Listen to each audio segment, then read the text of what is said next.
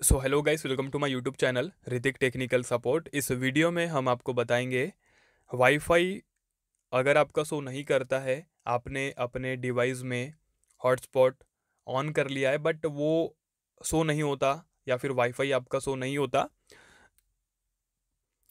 तो कैसे आप यह प्रॉब्लम को ठीक करेंगे, वो हम आपको इस वीडियो में बताएँगे। ठीक है? वीडियो स्टार्ट करने से पहले आप लोग हमारे यूट्यूब चैनल को सब्सक्राइब कर लीजिएगा बिल आइकन को प्रेस कर लेना है।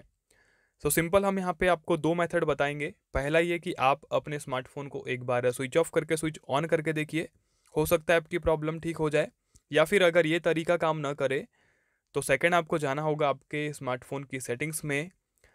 एंड यहाँ पे हम लोग क्लिक करेंगे जनरल मैनेजमेंट पे ठीक है? हर एक स्मार्टफ़ोन में अलग अलग टाइप की सेटिंग्स रहती है। तो आपके पास अगर जनरल मैनेजमेंट नहीं है तो आप लोग सर्च कर लीजिएगा रीसेट, आपको ऑप्शन मिल जाएगा। और रीसेट पे हम जैसे ही क्लिक करेंगे तो यहाँ पे आपको देख सकते हैं, इस टाइप का इंटरफेस देखने को मिल रहा है।